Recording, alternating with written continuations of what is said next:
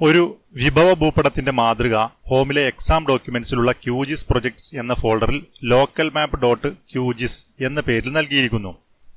ഇത് QGIS desktop സോഫ്റ്റ്വെയറിൽ തുറന്ന് ചുവടെ നൽകിയ നിർദ്ദേശങ്ങൾ അനുസരിച്ച് ഭൂപടം പൂർത്തീകരിക്കുക.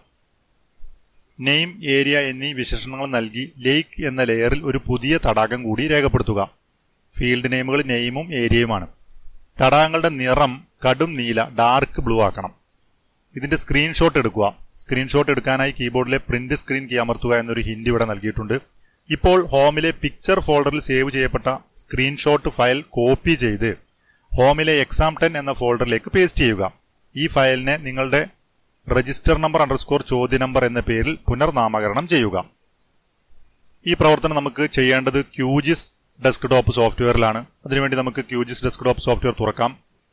അപ്ലിക്കേഷൻസ് മെനുവിൽ എഡ്യൂക്കേഷൻ മെനുവിലാണ് ക്യൂജിസ് ഡെസ്ക്ടോപ്പ് സോഫ്റ്റ്വെയർ ഉള്ളത്. Applications education QGIS desktop click ചെയ്യുന്ന സമയത്ത് ക്യൂജിസ് സോഫ്റ്റ്വെയർ തുറന്നു വരുന്നു. ഇവിടെ ക്യൂജിസ് ടിപ്സ് ഇവിടെ ഓക്കെ ക്ലിക്ക് ചെയ്യുന്നു. അതുപോലെ ഇവിടെ ബ്രൗസർ പാനൽ നമുക്ക് തൽക്കാലം ആവശ്യമില്ല.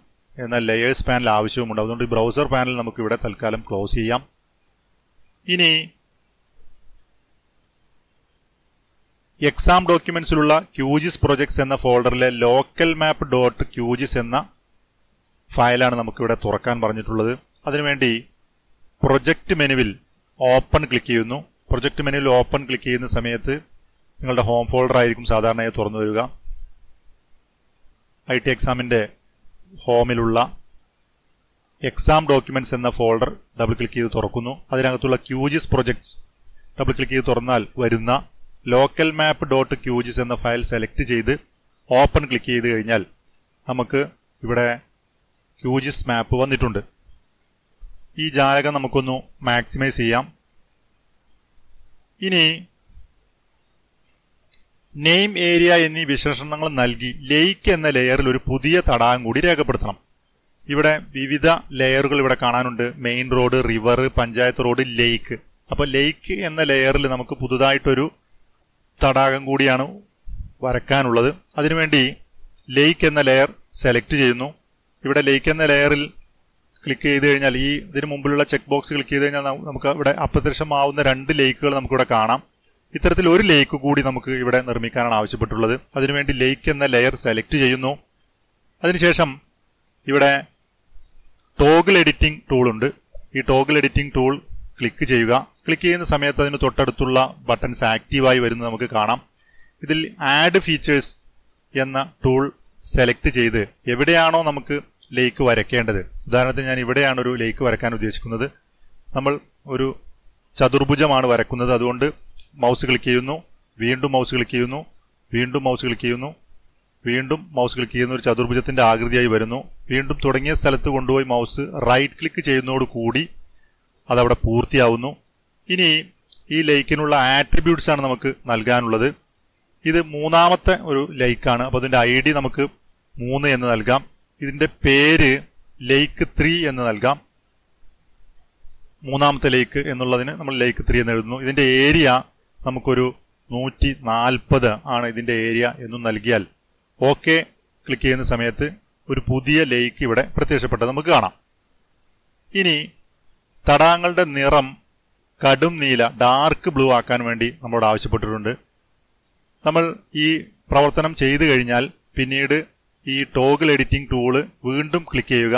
അപ്പോൾ സ്റ്റോപ്പ് എഡിറ്റിംഗ് എന്ന ഒരു ജാലകം വന്നിട്ടുണ്ട്. Do you want to save the changes എന്ന് ചോദിച്ചിട്ടുണ്ട്. നമുക്ക് ഈ പ്രവർത്തനം സേവ് ചെയ്യണം. അതുകൊണ്ട് സേവ് ബട്ടൺ ക്ലിക്ക് ചെയ്യുന്നതോടുകൂടി ഇപ്പോൾ നേരത്തെ ഉണ്ടായിരുന്ന രണ്ട് ലേക്കിന് പുറമെ പുതിയ ഒരു ലേക്ക് കൂടി ഇവിടെ വന്നത് കാണാം.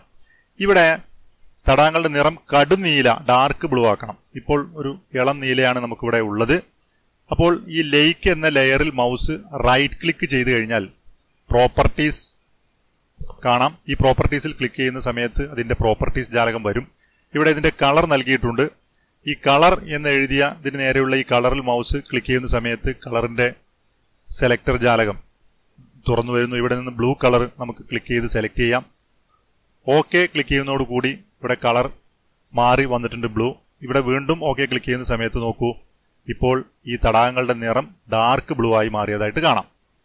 ഇനി ഇതിന്റെ സ്ക്രീൻഷോട്ട് എടുക്കണം. സ്ക്രീൻഷോട്ട് എടുക്കുന്നതിനായിട്ട് കീബോർഡിലെ പ്രിന്റ് സ്ക്രീൻ കീബോർഡ് കീയാണ് അമർത്താൻ ആവശ്യപ്പെടുന്നത്. അതുകൊണ്ട് ഈ ഭാഗം വെച്ചതിന് ശേഷം കീബോർഡിലുള്ള print screen അമർത്തുന്നു. P R T S C എന്ന രൂപത്തിലൊക്കെ നിങ്ങളുടെ കീബോർഡിന്റെ വലതുഭാഗത്ത് മുകളിലായിട്ട് കാണാം പ്രിന്റ് സ്ക്രീൻ കീ അത് ഇവിടെ ഞാൻ അമർത്തുകയാണ്.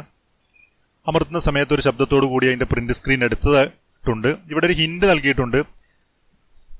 ഇപ്പോൾ ഹോമിലെ പിക്ചർ ഫോൾഡറിലായിരിക്കും ഈ സ്ക്രീൻഷോട്ട് സേവ് ചെയ്തിട്ടുണ്ടാവുക എന്ന് പറയുന്നു. ഞാൻ ആ കീബോർഡിൽ കീയിൽ ഒന്ന് അമർത്തുകയാണ്.